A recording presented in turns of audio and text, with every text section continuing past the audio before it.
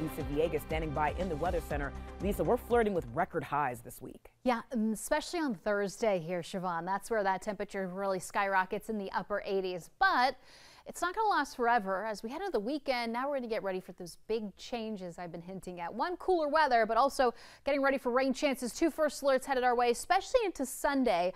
Watching for that frontal system to push through, and I think Sunday is going to be the day where we see heavier amounts of rain. But even into Saturday, late that evening, as that frontal system approaches us, we could very well see these scattered showers and some thunderstorms. In the meantime, we are quiet. Temperatures tomorrow, they all they will eventually drop in the lower 60s once you head out the door. So a mild start, lots of sunshine, and then by tomorrow afternoon, we're expecting highs ranging from the 70s like the mountains into the mid and upper 80s like the Piedmont area over the Sandhills. Notice the rain chances. They are in the forecast, especially in the mountains and I do think we could see that isolated shower rolling over in the foothills, similar to what we saw today. But this is going to be the setup tomorrow.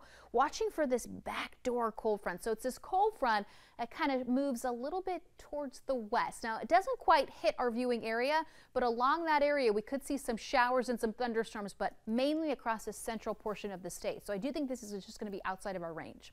As we fast forward, tomorrow afternoon, watching for those showers and thunderstorms in parts of the mountains, especially maybe a stray isolated shower shower thunderstorm rolling over in the foothills, but really watching for our eastern counties, like I said, central portion of the state out towards the eastern area, watching for those in Richmond, maybe that isolated shower thunderstorm in the afternoon with some daytime heating watching for that as the cloud cover rolls in for the rest of us as well. That's going to be limited, but Wednesday, pretty gloomy showers. They are going to pop up. Wouldn't rule out some of these showers rolling through parts of Mecklenburg, especially on Wednesday evening, and that will be brief, nothing like what we're expecting as we head into Saturday. But just an overall view of the potential rain coverage. I think Wednesday out of this week maybe looking a little better versus this weekend when it really starts to increase because of that cold front. So there's that big temperature swing from Saturday, 83 degrees. We drop all the way down to the upper 60s on Sunday. Makes sense. That is a first alert and then even the beginning stages of that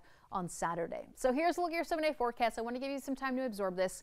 Tomorrow morning, 61 degrees, mid 80s by the afternoon hours, and then on Wednesday, getting ready for the cloud cover, isolated showers popping up, especially that evening, ramps up a little bit. But we clear out by Thursday, and that is when we get ready for near record breaking heat. The record on Thursday, 89 degrees, Siobhan, and the forecast, 88. And that is a look what we can expect. Lisa, thank you.